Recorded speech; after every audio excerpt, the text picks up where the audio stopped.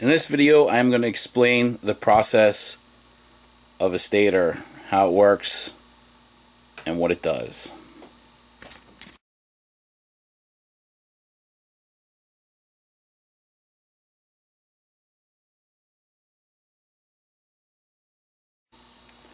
This stator is out of a lawnmower, uh, Lazer Z to be exact.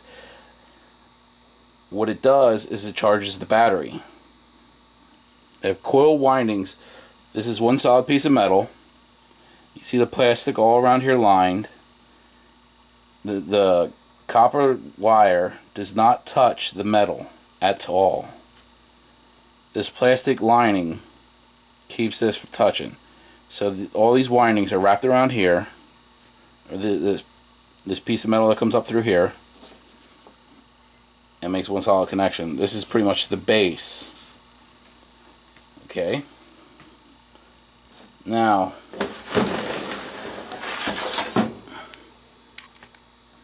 this is the flywheel. And on the inside of the flywheel are magnets.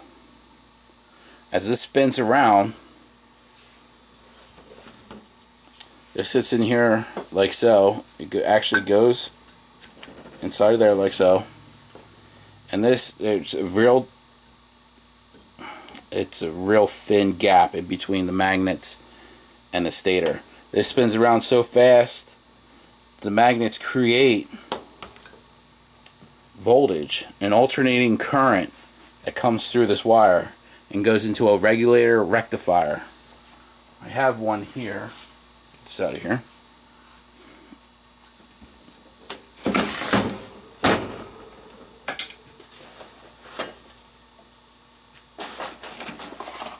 An old one, actually.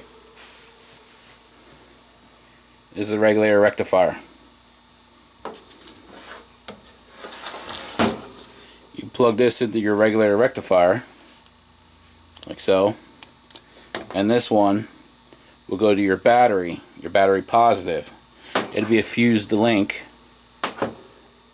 And the voltage will go in here from the stator. And this regulator rectifier has diodes and whatnot. We'll turn it into direct current, which will charge your battery. And the current will come in here as alternating current and go out here direct. And direct current go right to your battery and keep it charged while you're mowing. That's pretty much it. Oh, well let me show you what a good stator looks like so you know what to test for. You take your voltmeter, you put it on ohms.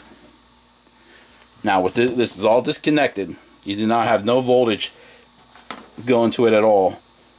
Whenever you have it on ohms, right there, you do not hook it to any voltage whatsoever or you will destroy your multimeter. You connect these two terminals.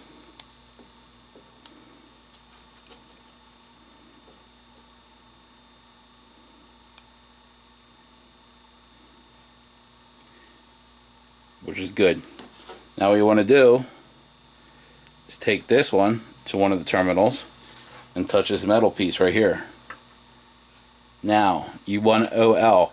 If this reads any type of voltage, it means your stator is shorted either this plastic lining melted or one of these shorted out somewhere and it's touching the metal somewhere which is not good and that's what happened on the old the old mower it got the cooling fins got dirty and while it overheated and melted the whole thing and shorted out this and fried the rectifier so forth and so on so when these go bad it'll cause a mess of trouble so that's pretty much it if I forgot anything, please let me know. Comment below. This video helped you at all, please hit the like button and please subscribe. Thank you very much.